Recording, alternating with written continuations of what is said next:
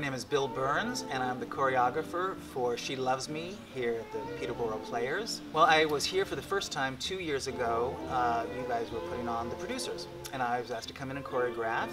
So I had a blast, and I love the area up here, and I love the theater space. So when I was asked to come back again this time, I didn't hesitate. I'm from California originally, mm -hmm. so when I started, I learned to dance and sing, sing first actually, and dance out there. Uh -huh. And I, so I became like a television variety show dancer. Broadway wasn't on my mind because uh-huh. uh, I was, it was an environment thing, the, you know, the yeah. West Coast. But once I became aware of it, I realized, okay, well, that's another um, market. You got to be a chameleon.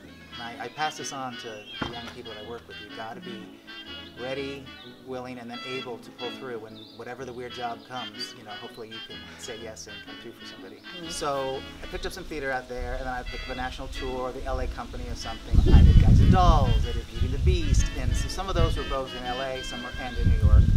Um, I got um, I got called to come out to New York and replace somebody in, in Victor Victoria. So I did that with Julie Andrews and Liza Minnelli and Raquel Welch, and everybody that went through that door.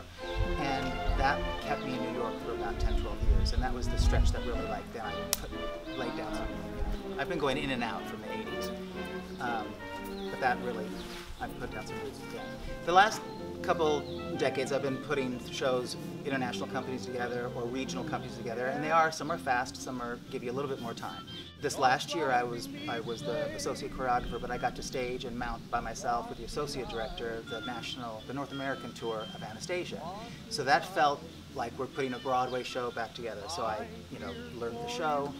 We, I got to cast the show, the dancers, um, teach the show, you know, check on the show, maintain the show. So that was felt like, oh, this is like back in the day. I work in both kinds of ways. Usually, I'm a mapper. I know the show already. Sometimes it's a show I've already done, and I come with all my ideas and I then put it on the feet with the space, with the newer actors. Sometimes there's more people, sometimes there's less people, whatever the show might be.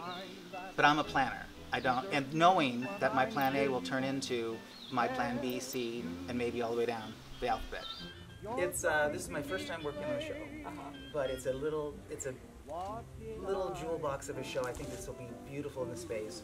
Um, choreographically, it's you know set in like Hungary 1930s. I want to like not make it look like there's big dance numbers and choreography for choreography's sake, but we're going to polish and refine gestures and arm movements and glances and all those things.